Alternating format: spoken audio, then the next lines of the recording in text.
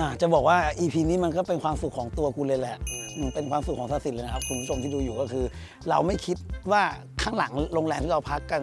เมื่อ EP ก่อนนะมันจะมีข้างหลังอย่างนี้ เดินเข้ามาเราก็เห็นมีแพ็คแพ็กเกจทัวร์ด้วย ว่าแบบเฮ้ยนึกว่ามันมีแพ็กเกจทัวร์ one day trip ที่จะไปลงแพ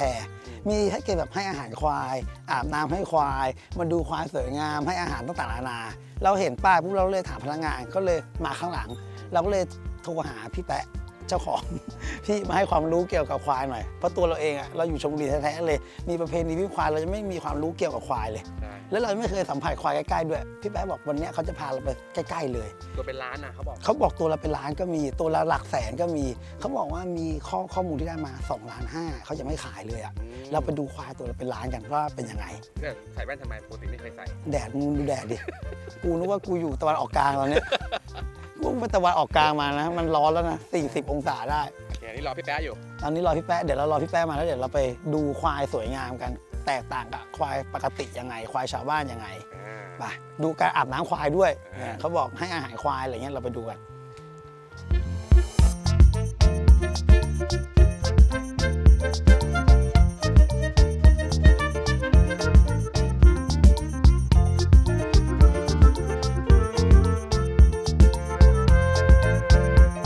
เรามาอยู่กับที่ภูตะวันฟาร์มนะครับ ก็หลังรีสอร์ทหลังโรงแรมที่เราพักเดินมาใกล้ ๆ เองนะครับตะวันตัวตุลานนท์จะมาทำเนี่ยนี่นี่มีเสียงสายเข้าอ่าเป็นไงเนี่ยก็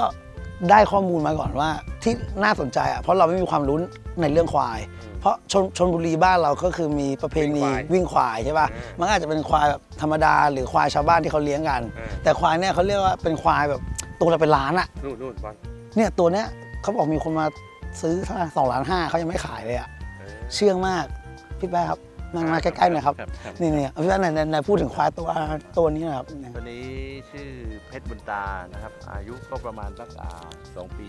สี่เดือนนะครับเป็นเป็นลูกของเจ้าโชคกระบี่ครับ ซึ่งเป็นพ่อพันธุ์หลัก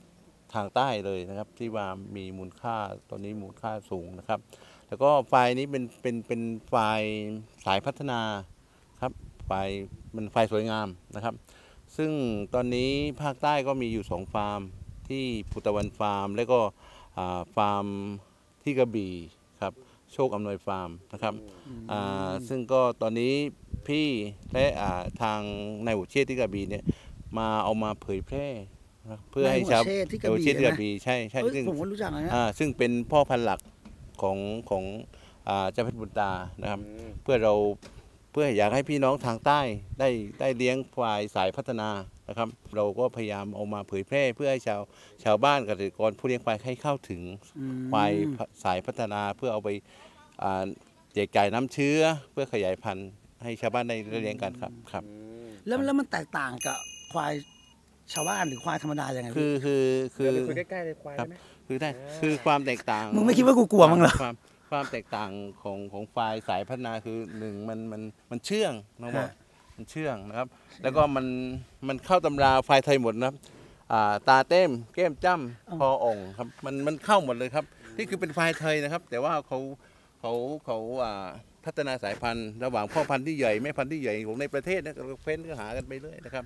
จนได้ได้ได้ได้ได้การเป็นที่มาของ ควายสายสายพัฒนานะครับน้องครับ ทำไมยิ้มอะไร ไม่ได้ดูมึงดูขนกูดิ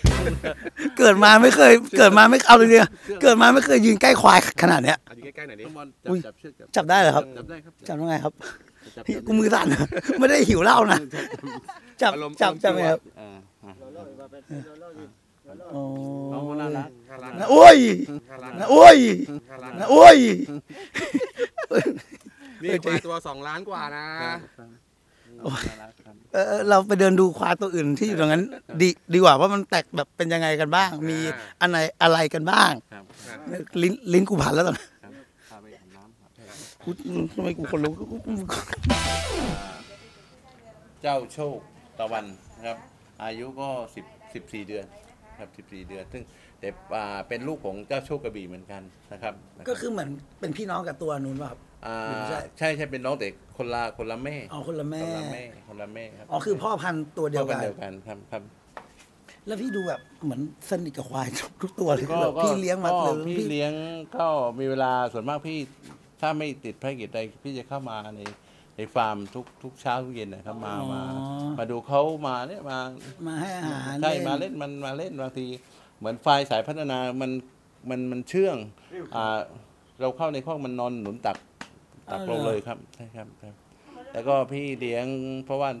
ตอนเช้าๆลูกค้าที่มาพักโรงแรมนะตอนเช้าลูกค้าจะเดินเข้ามามานักท่องเที่ยวเข้ามาเต็มหมดนะครับอ้าวเหรอมาให้อาหารโอ้มันนี่ใครมาพักที่นี่นะครับก็ครับ ถ้ามีเวลาใช่ไหมครับพักก็เดินมาข้างหลัง ครับนิดเดียวครับมาดูครับฟาร์มควายครัได้บครับอันนี้ครั้งแรกในชีวิตเลยนะจริงๆนะครับแล้วก็ต่อไปก็เป็นไฟ พื้นเมืองนี่คือนี่นี่เดี๋ยวพี่จะเห็นให้เป็นความแตกต่างนะครับนี่นี่คือไฟไฟบ้านเราไฟทุ่งอะนะครับอ่าฮะไฟทุ่งอันนี้คือไม่ใช่ควายพันธุ์สวยงามไม่ใช่พันธุ์ยังยังยังครับ แต่ว่าในท้องตัวแม่ในท้องท้องฝ่ายพัฒนาแล้วฮะอ่าตัวแม่ก็ ตอนนี้ท้องประมาณสี่เดือน ท้องกับเจ้าเพชรบุญตา ครับ ครับผมแต่ลูกลูกคือลูก ตัวลูกกันประมาณ 9 เดือนดูเนอะความแตกต่างระหว่างฝ่ายพัฒนากับฝ่ายพื้นบ้านแล้วแล้วแตแล้วกแล้วต่างเขาผสมพันธุ์กันยังไงหมายหมายถึงว่ามีระยะเวลายังไงมีระในยะการที่จะออกใช่ลูกใช่มีระยะอ่าฝ่ายก็ 11 เดือนฮะกว่าจะคลอดครับ อ๋อเหมือนคนเลยคล้ายๆคนนะครับครับ11เดือนคลอดก็คลอดเป็นตัวใช่ไหมครับเป็นตัวครับเป็นตัวคลอดแม่ละตัวครับครับอ่าอ่าอันนี้ที่ถามคือไม่ไม่รู้จริงๆนะเนี่ยไม่ครับไม่ได้ครัรู้บจริง ครับครับก็เป็นนี่ความรู้ใหม่ นี่คือฝ่ายทุ่งบ้านเราฝ่ายอ่าก็นี่ใหญ่ตัวก็ประมาณนี้นี่ตัวนี้ที่ก็เราปเห็นระมาตาณ มท้องท้องนาใช่ทุ่งตัวนี้ก็อไประมาณสี่ สี่ปีดูครับสี่ปีครับตัวนี้ก็ฝ่ายพัฒนาเจ้าเจ้านำโชคครับ ตัวนี้ไปประกวดก็ได้อันดับห้าได้อันดับสองมาแล้วที่สุรินทร์นะครับที่กระบี่ อันนี้คือประกวดยังไงครับประกวดประกวดระคดัวาบมความสวยงามระดับประระเทดับศประเทศครับชิงถ้วยพระราชทานนะครับ แล้วก็ที่เจ้าลูกลูกของโชคกระบี่เหมือนกัน แต่ว่าตัวนี้เป็นเป็นลูกของแม่ควายพื้นบ้านนะ ก็เหมือนตัวนี้แหละแม่ควายพื้นบ้านแต่เราเอาผสมน้ำเชื้อของพ่อพันธุ์ที่พัฒนามาแล้วควายเลยตัวจะใหญ่รู้น้องครับ แล้วก็สวยงามเนี่ยครับ เขาเขาเขาจะทิ่มลงเหรอครับอย่างนี้ก็มันกลางครับเขากลางเขาโค้งเขาคันจรครับสวยครับนี่อัตลักษณ์ครับ ตาเต้มแก้มจ้ำเข้าอัตลักษณ์หมดครับตาแต้มแก้มจ้ำตาแต้มแก้มจ้ำตาแต้มแก้มจ้ำ เออ มึงก็เข้าใจเอากูไปเปรียบเนาะน่ารักน่ารักครับน่ารักความน่ารักฝ่ายพัฒนาคือมันน่าน่ารักนะครับตาแต้มแก้มจ้ำแก้มจ้ำแก้มจ้ำแล้วตัวตัวนี้ต่างจากตัวตัวแรกมันยังไงไอ้นี่ตัวนี้ก็น่าอ่าตัวตัวเพชรบุญตาถึงเป็นเป็นพ่อพ่อพันธุ์พ่อตัวเดียวกันนะโชคกระบี่แต่ว่านี่เป็นลูกของแม่พันธุ์พื้นบ้านไอ้นู่ นนู่นไอ้ตัวเพชรบุญตาเป็นเป็นแม่พันธุ์ที่พัฒนามาแล้วที่พัฒนา อ่าอ๋อครับครับครับครับครับ โอ้โห ใครที่ดูอีพีนี้อยู่บอกได้เลยว่า ถ้าใครชื่นชอบควายหรือใครไม่มีความรู้เกี่ยวกับเรื่องควายเนี่ยได้รับข้อมูลไปเต็มๆเลยครับใช่ความรู้แน่นมาก ตัวกูด้วย ครับครับส่วนข้างหลังนี่เป็นเป็นฝ่ายพื้นบ้านพันธุ์ธุ์พื้นบ้านหมดเลยครับเป็นเนี่ยพันตัวธุ์พื้นบ้านเล็กๆหัวนะเล็กๆนะนี่พันธุ์พื้นบ้านพันธุ์บ้านเราฝ่ายไทยนี่ฝ่ายปลักเขาเรียกฝ่ายไทย แต่เขาสวยมากเลยอะครับ ครับ ตอนนี้ก็ผสมท้องแล้วครับท้องแล้ว ครับมีอาบน้ำด้วยมีอาบน้อาบน้ำอาบน้ำเช้าเย็นจะอาบด้วยไหมล่ะฮะมันจะอาบด้วยไหมำมีอาบมา บางทีนักท่องเที่ยวตื่นเช้ามาเขาก็สนใจมาอาบน้ำควายอ๋อเหรอครับมีด้วยเหรอใช่จัดจัดเป็นแพ็กเกจให้เขาอ๋อมีแพ็กเกจด้วย ใช่อาบน้ำให้อาหารควายครับ อาบน้ำให้อาหารควาย เดี๋ยวนี้เด็กๆรุ่นใหม่ถือว่าคนนะมันมันเข้าหายากหายากควายเลยต้องอนุรักษ์กันไว้นะครับ อ่า อันนี้คือเป็นควายตัวแรกที่บอลเคยเจอเมื่อสามปีที่แล้วที่บอลมาหาครับครับ นี่ก็คือตัวที่พี่เลี้ยงตัวแรกคือคือถ่ายชีวิตเขามานะครับ ทีแรกก็ไม่ได้คิดจะเลี้ยงควายสายพัฒนาอะไรหรอกคือ ไปเจอแล้วสงสารก็ถ่ายชีวิตเขามา ก็เป็นเรียกที่ว่ามาของควายจุตัวดเริ่มตัวต้นเริ่มต้น จุดเริ่มต้นประกายตัวนี้เลยครับเพราะเมื่อตอนนั้นที่บอลมาที่บอลกับน้องนายไปหาพี่ที่บ้านที่ก็คือที่บ้าตัวนี้เมื่อก่อนเลี้ยงหลังบ้านอ่าเลี้ยงหลังบ้านคือเลี้ยงตัวนี้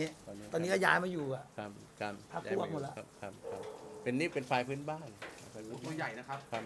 ครับเป็นควายพื้นบ้านอายุเท่าไหร่แล้วพี่ตัวตัวนี้นี้น่าจะสักแปดแปดปีได้เลยครับครับแปดปีได้เลยและอายุไขของควายครับมันอยู่ที่ประมาณคเท่าไหวายร่เป็นยี่สิบสามสิบปีนะครับอ๋อยี่สิบปีนะ พี่พี่แป๊ะครับถามหน่อยครับ แล้ววันที่เจอเขาวันแรกประทับใจหรือติดใจอะไรถึงแบบคืต้องอเอาเขามาให้ได้ คือ คือมันเป็นเป็นเป็นเรื่องเป็นราวเลยนะน้องคือไปไปพี่กับแฟนไปซื้อของที่ตลาด แล้วไปติดไฟแดงนะครับ ติดไฟแดงรถพี่กับรถรถเขาที่ทุกอ่า ที่ทุกควาย อ่าติดตามหลังเลย แล้วก็แต่ก็ไม่คิดอะไร แล้วก็ขับออกไฟแดงไฟเขียวออกแล้วก็ขับรถตามหลังเขา ตามหลังประมาณ 50กิโลแซงรถแซงไม่ได้แซงรถมันเยอะมากแซงไม่ได้นะต้องตามหลังรถรถทุกเขาตลอด แล้วก็ยืนน้ำตาไหลแล้วแฟนแฟนพี่ก็พูดว่าน่าสงสารพูดพูดตลอดทางนะขนลุกอ่าแล้วก็พี่ก็นั้นถามดีไหมว่าจะเอาไปไหน ก็พี่พอแซงได้พี่ก็ปาดหน้า ให้เขาหยุด แล้วถามคนขับว่าทุกภายไปไหนเขาบอกว่า เอาไปลงเชือดที่ชุมพร ซื้อมาจากภูเก็ตครับเขาแฟนพี่ว่าหนูรักตัวนี้ชอบจะเอาไปเลี้ยงอ่า ขายไหมเขาก็โทรไปหาเจ้าของเขาบอกว่า โอเคถ้าพี่เอาไปเลี้ยงขายให้ครับครับเท่าไหร่พอพอบอกราคาอ่าห้าหมื่นห้าแต่ตัวยังเล็กกับตัวยังเล็กเล็กกว่านี้มีมีมูลค่าขนาดนี้แบบห้าหมื่นห้าเลยเหรอคือเราเอามาเลี้ยงบอกบอกบอกทางเจ้าของโรงเชือดนะว่าเห็นดูเขาน้ำน้ำน้ำตาไหลจริง ๆ เลยนะมันสงสาร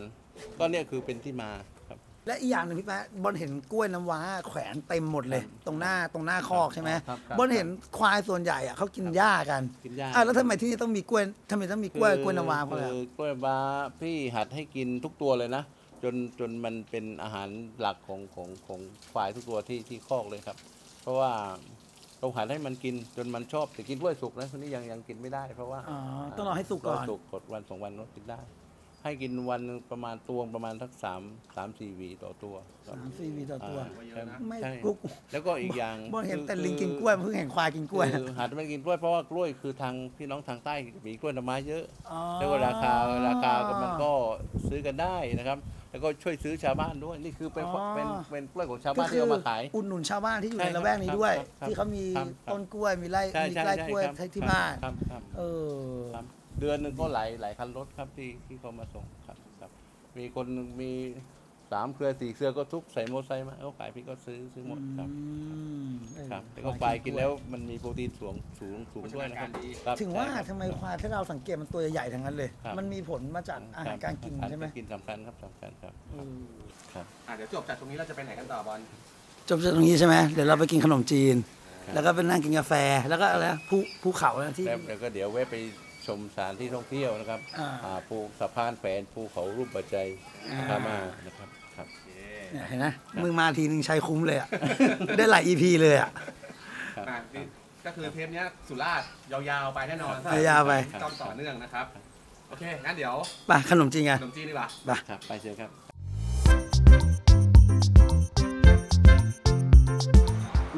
ห็นเมนูบนโต๊ะอาหารแล้วนึกถึง EP ที่ 58 เลยครับเออใครไปดู EP นั้นคือ EP นั้นที่ 58 เรา มันชื่อ EP ว่ากินพุงแตกที่สุราษฎร์ใช่ตอนนั้นเราไปกินอยู่ในตัวเมืองนะครับแต่อันเนี่ยเรามากินอยู่ที่เอ่อบ้านตาขุน ชื่อร้านขนมจีนเส้นสดบ้านตาขุนนะครับก็เปิดทุกวันเลยครับ เปิดตั้งแต่9โมงเช้า แล้วก็เมนูนอกจากเหนือนอกเหนือจากขนมจีนเนี่ยยังมีเมนูแบบพิเศษต่างๆ เยอะแยะมากมายเลยนะไม่ว่าจะเป็นทอดมันทอดมันที่นี่ก็คือเป็นเหมือนเป็นกุ้งอะ เป็นกุ้งเหมือนเป็นอ่าเป็นกุ้งฝอยอะเหมือนที่บ้านเราเรียกว่ากุ้งฝอยทอดน่องไก่ทอด แล้วนอกเหนือจากขนมจีนอะอันนี้ก็เป็นน้ำยากะทิปู อันนี้เป็นน้ำพริกน้ำน้ำพริกอย่าเข้าใจว่ามันเผ็ดนะมันจะออกหวานๆนะครับแล้วก็อันนี้เป็นน้ำยาป่า อันนี้ก็เป็นไตปลาอันนี้ก็แกงกะทิเฉยๆน่าจะเป็นเนื้อปลาแล้วอันนี้ก็เขียวหวานไก่ยายครับคุ้นเคยดีเหลยด้วยนะเออก็โอ้โหมากี่รอบก็กินตลอดนะแล้วก็มีผักสดขนมจีนเส้นสดด้วย เดี๋ยวเราชิมจากอะไรก่อนดี เอางี้ดีกว่า ร้านนี้เป็นร้านเป็นที่มาที่ไปยังไง ก็คนซ้ายมือมึงอะมึงหันไปดิ ก็เขาก็แนะนำมาก็คืออยู่ใกล้ๆกับโรงแรมภูตะวันด้วยนะครับก็อยู่ใกล้ๆแล้วก็เราก็กินที่นี่ก่อนเสร็จจากที่เนี่ยเดี๋ยวเราไปแวะทานกาแฟนิดนึงก่อนเราจะปิดท้ายด้วยไปภูเขาอะไรนะภูภูเขาเลยนะ อ่าภูเขาลูกหัวใจอ่าแล้วเราก็ค่อยปิด EP นี้ที่ตรงนั้นแล้วก่อนที่เราจะลงแพไปแพภูตะวันกันโอเคชิมกันอะไรก่อนเดี๋ยวอยากกินทุกอย่างเลยอะ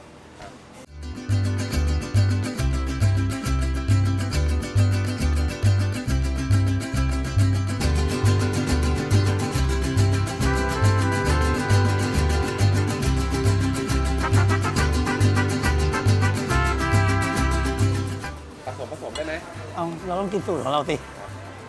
เดี๋ยวพี่ทานได้เลยนะครับพี่เอ้ยเอ้ยไปแล้วไหนอันนี้ อันนี้คือไตปลาป่ะอาไตปลาไตปลาไตปลาอันนี้บอลชอบนี่ ใช่นะฮะอื้อหือไงครับ ผสมทุกอย่างครับ สูตรเขาสองอย่างพอสองอย่างพอตั้งแต่ที่สุราษฎร์แล้วนะครับเออเดี๋ยวบอกแล้วว่ารสชาติที่นี่เป็นยังไงนะหูยอร่อยมาก ยังไม่ได้กินอ๋อ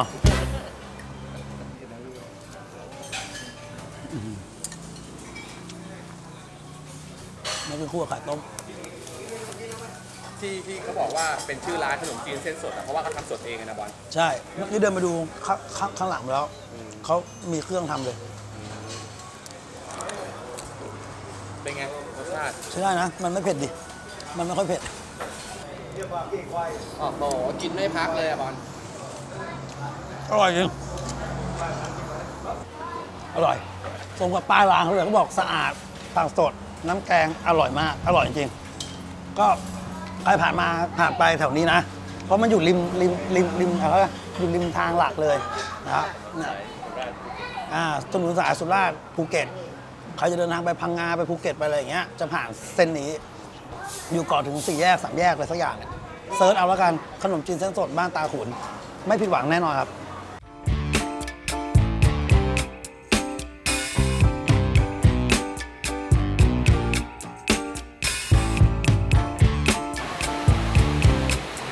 ฝนตก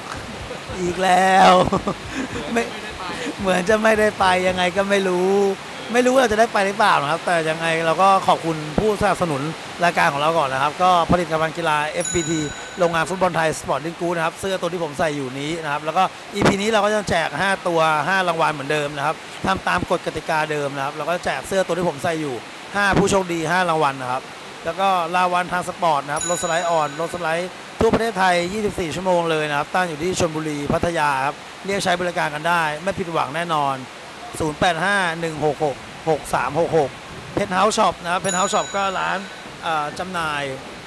อาหารของใช้สัตว์เลี้ยงชนิดเล็ก น้องหมา น้องแมวต่างๆนะครับ อยู่ที่ซอยซีไซส์ก่อนถึงมอบูรพาที่บางแสนนะครับ เปิดทุกวันตั้งแต่ 9 โมงถึง 3 ทุ่มนะครับ แล้วก็โกหมึกนะครับ QR code ขึ้นอยู่ตรงนี้ หัวมุมนี้นะครับ QR code add LINE โกหมึกครับ add เข้าไปอุดหนุนอออาหารปลาหมึกแปรรูปนะครับ แล้วก็ยังมีผลไม้อบแห้งมีอุ้ยเยอะแยะมากมายเลยนะครับ สินค้าโกหมึกนะไม่ต้องไปหาซื้อตามห้างสรรพสินค้าซุปเปอร์มาร์เก็ตชั้นนำซื้อที่ QR code add LINE ตรงนี้ครับ แล้วก็บอกว่าดูจากรายการเราจะได้ส่วนลดของแถมอะไรต่างๆ มากมายนะครับไปะไม่รู้จะได้ไปหรือเปล่า เอาง่ายถ้าเราไม่ได้ไปนะครับ ก็ลอง ซิร์ชหา Google หาดูกันได้นะครับ มาบ้านตาขุนทั้งทีนอกเหนือจากเขื่อนเชี่ยวหลาน มาพักที่โรงแรมแพรภูตะวันเอ้ยมาพักที่โรงแรมเดอะภูตะวันบูติกแอชเชี่ยวหลานอะไรเงี้ยแล้วก็มาให้อาหารควายหรืออะไรเหมือนอย่างที่เราใน EP นี้ตั้งแต่แรกเลยนะครับอาบน้ำควายให้อาหารควาย ดูความสวยงามของเขาเรียกว่าควายสายพันธุ์สวยงามอะไรอย่างเงี้ยไม่ใช่ควายชาวบ้านอะไรเงี้ยแล้วก็มาทานขนมจีนเส้นสดกันเรียนแบบเราได้ครับ แล้วก็ ถ้าฝนมันไม่ตกนะ เราก็จะพาไป แต่ถ้าเกิดฝนตกเราคงไม่ได้ไป เราก็คงต้องปิดท้ายที่ตรงนี้ แล้วเดี๋ยวเราจะไปลงเรือล่องแพกันไปนอนแพกันคืนนี้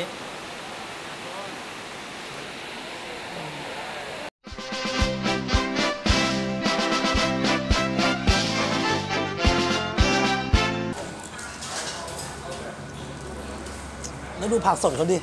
แบบผักผักเคียงอะ เยอะแยะมากมายเลย เยอะมาก เฮ้ยแต่แต่แต่กูงงมากเลยตอนเนี้ยทำไมมือสั่นวะ เอ้ยมันต่างจริงนะเนี่ยไม่ได้แกล้งของขาดวะเมื่อคืนเมื่อคืนเติมไม่เต็มไงจะจะไปนอนริมสายด้วย เอ้ยแล้วเมื่อคืนใครเดินไปซื้อเบียร์นะ น้องน้องน้องที่ที่หน้าฟอนต์แต่ตู้ล็อกครับพี่ ขอโทษด้วยนะครับ ตู้ล็อกครับพี่